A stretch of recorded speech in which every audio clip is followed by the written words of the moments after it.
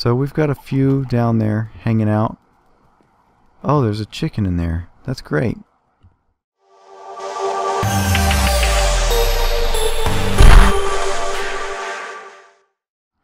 Hello ladies and gentlemen, this is Soap the Great and I am playing on the Too Crafty server once again. I hope this video finds you well. I am doing well. So, what are we going to be doing in this episode? Well, I've got a few things that I need to show off to you. The first of which is why I am up here. The second is a little further down there, so we are going to head down there. And then we're going to go take a look at spawn and run a little bit of an errand, okay? So first things first, let's see what I'm up to here. Bring up the F3 screen and you can see that I am at level 180 and the Y. Okay? And that is because, well, you might have guessed it. I have done part of the witch farm and that would be the high Y thing. Uh, and what I'm going to do, you can see some of them dropping. Hopefully this works. Okay. Put the space bar. There we go. And you can see why I would be way up there. It makes sure that this farm runs at as good of an efficiency as possible. Look at all that. That's amazing.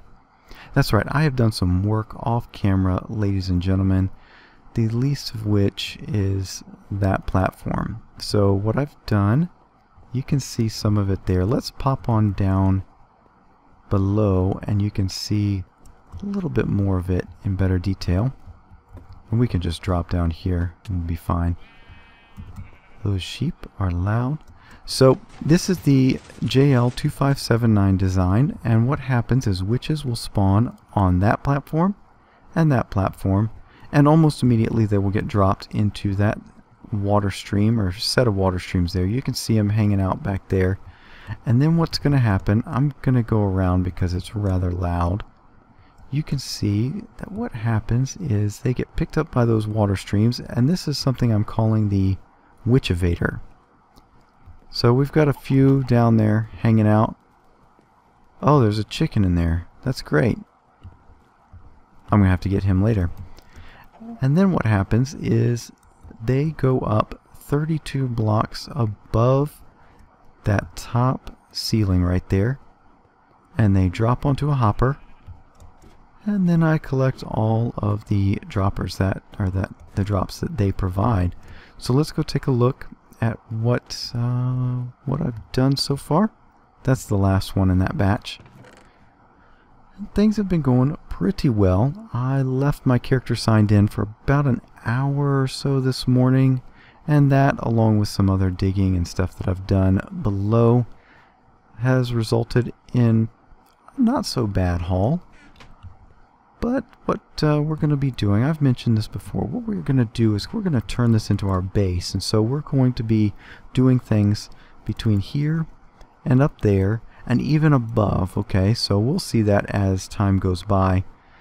And as that happens, we're going to be spending, we're going to be spending, excuse me, be spending more time further up, which means that this thing will be running at better efficiency than just hanging out here on the ground. But we need to go take a look at something else that I showed you a little bit of last time and I had not done much work on it, but I spent most of my week working on this thing, just getting it finished.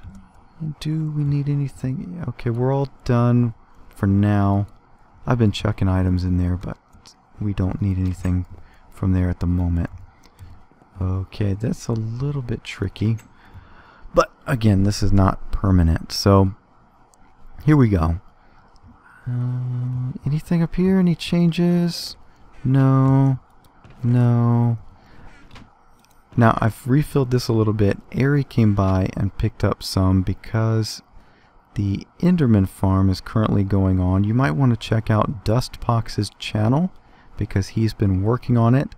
So check that out. I have yet to see any videos from it, so he's probably working on that as we speak. And here is the skeleton grinder. I showed you earlier the spawner itself. And what I've gone ahead and done is a lot of the work behind the scenes. So what we're going to do, we need to flip that.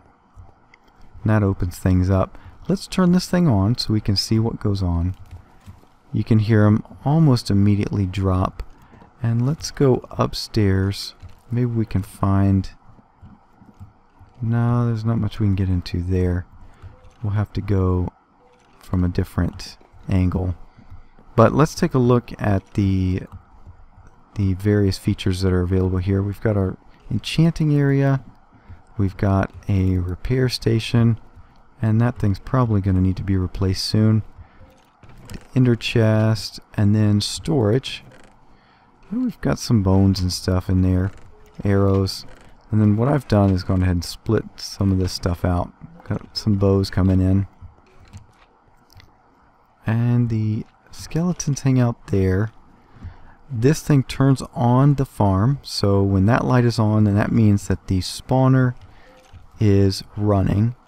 And the skeletons drop into here, and they hang out on top of this this hopper here. Let's go up top and see if we can see anything. Go up here. Yep. It's kind of... Come on, come on. It's kind of interesting to get to. Here we go. So while the that uh, one switch is on, that means that these lights are off, and so the spawner, which is right below that block, will be spawning off skeletons. And it's pretty simple. It's a direct line up from that switch to here. This inverts it, so we only invert once, and we don't have any lag associated with changing the torches. There's no, no uh, tick delay or anything like that. Then uh, what we're going to do, we're going to pop down. I've got Feather Falling 4, so it's not that big of a deal. And then, uh, as you may have figured, this has to do with the collection area. And those skeletons are hanging out on top of hoppers, or up on top of a hopper. And that spits the items into a item elevator. You know, one of those fancy ones. And that carries the items up to here, and it goes into a little sorting system right here. And we sort off the bones and the arrows, and then everything else just drops down into here. Any extra goes into I need to fix that actually, but any extra goes into this dropper, which shoots the items. Can we get to there easily? Hopefully I'll be able to get back. And it just shoots those items into that piece of cactus right there. And I should be able to get through right here. And I'll just fix my mess. Yep, put this back right like that and right like that and there we go the other thing that I need to show you is the mechanism itself for crushing these guys and I think I can get into that right here yeah okay so it gets rather loud so let me turn down hostile mob sounds okay get ready. So what I'm going to do is I'm going to hit that. Okay. And that's a little crusher circuit. And that takes most of them down to one hit. It is going to crush some completely. And then we can just come in. And, and you know the drill. If you've seen one of these, you know how it goes. So I don't need to do that. Let's just take a look at the redstone here. As you might imagine, that light is the light with the switch on the front and that's a direct current into here we get a little single pulse out of this this rising edge detector. And that briefly unlocks that redstone torch which unlocks the item in this quiet hopper timer. And the other side there when items are starting to fill up over here we get a signal out of here. And what that does is it pushes this piston or extends this piston which pushes that block and that crushes the skeletons until they are down to one hit. Okay, so it's the same design like I used in a spider farm on my previous multiplayer series. Just the timings are a little bit different. And do we need anything else? I do need that. I have an infinity bow now as a result of, I can't remember where I found that. Here somewhere, but uh, one other thing is that this, this uh, what is it, lever also shoves a piston up top which closes off this chamber to further skeletons. And so then we get some more in there. We're just going to turn that off. We don't we don't need a bunch of those hanging out right now. Is that all of them? Yeah, let's just get these guys. Don't want to leave XP hanging around.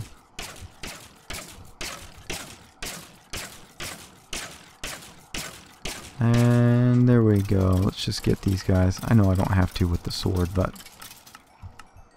Yeah, there we go. Nothing extra. Okay. Alright. Well, that is the skeleton farm.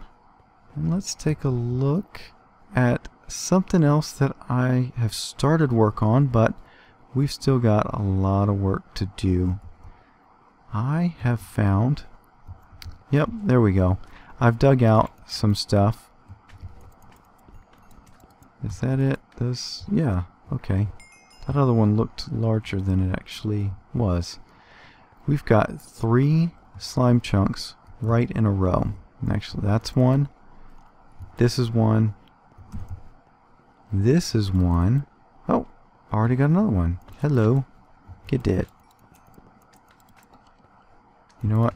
Thank you, thank you for donating. Okay, there we go.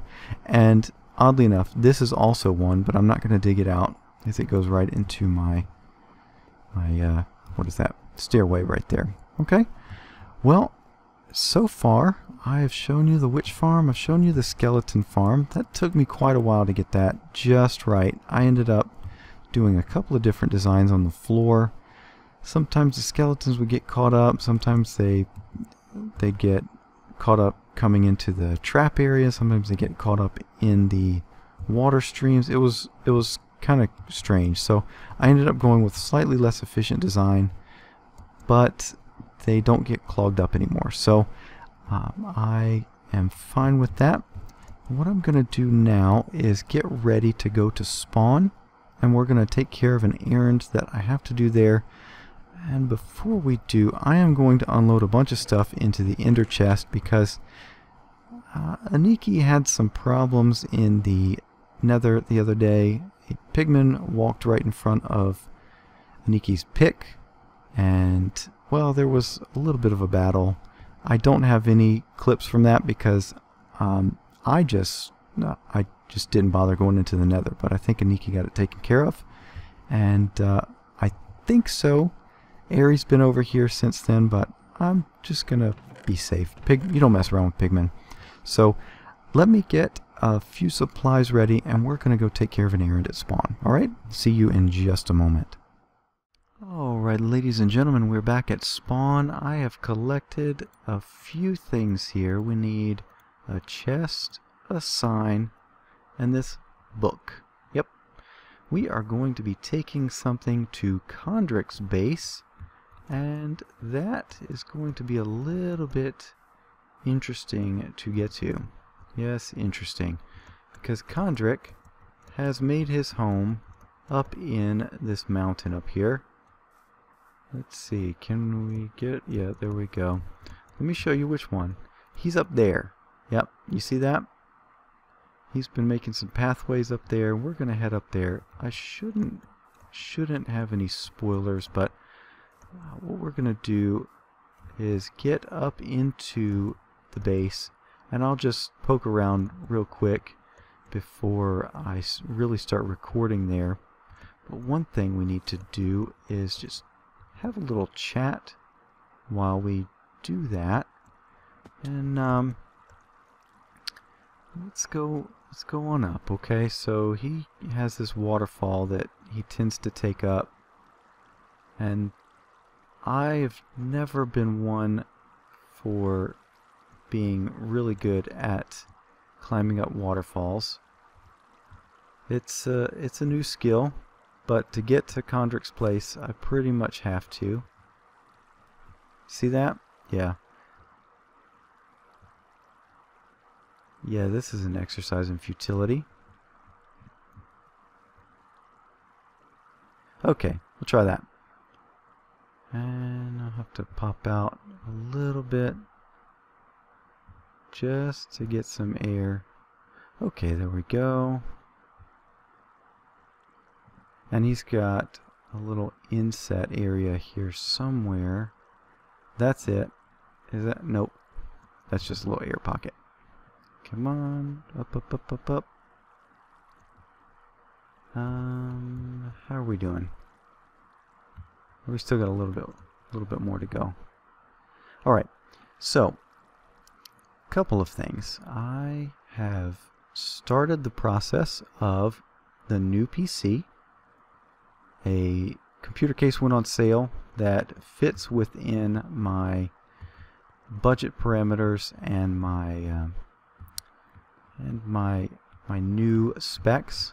So yeah, so I I bought the case and it should be coming soon, and I'm just going to be getting the pieces here and there, and, uh, and yeah, so that's that's pretty exciting. I I'm looking forward to building a new PC. It's been a long time since I've built one.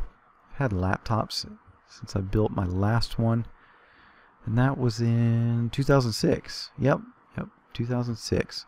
Alright, so here we go. We are at Kondrik's base. Sorry for that short little thing there. I meant to have a little bit more time to chat. Um, I'm not going to go up there. Uh, Kondrik's already shown this stuff off right here. I just won't go through the chest. But what we're going to do is set up chest, give him a little sign, shift and hold. And we're going to call this a modest proposal.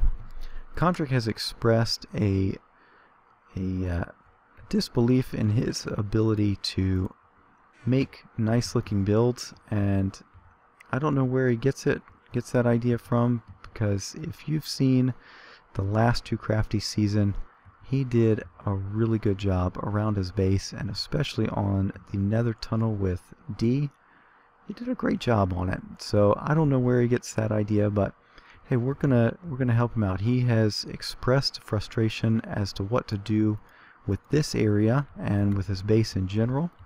And so what I'm gonna do, here we go. I'm just gonna skim through that, I was watching a recent video of yours where you seemed to express some frustration in regards to creative building. Now, I'm not an expert by any means, but I wouldn't mind helping out a friend. So what if we were to work on a design for your base together? If you like the idea, let me know. And I will bring over some materials and we can start planning. So we're going to leave this for him. I will let him know that I left that in Skype. And we'll see what he says. So maybe in the, I don't know, not so distant future, we will see a little bit of a, a collab going with Mr. Kondrik, which should be pretty interesting. So hopefully he goes for that and I definitely will bring over some materials and we'll have some fun with that. There's a zombie and a skeleton somewhere. Oh, and a witch. It is dangerous over here. Kondrik, you need an elevator. Soon. Very, very soon.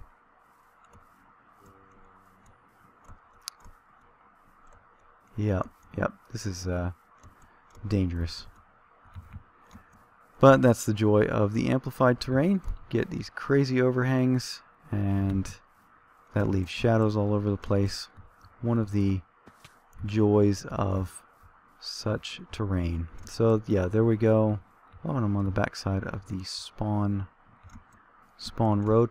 But that is going to be it for now, ladies and gentlemen. I've taken care of my desired errand for the day. What is that? Where is that? This is Ares' house. And spawn, I guess, is over here. Oh yeah, there we go. I can get down from here.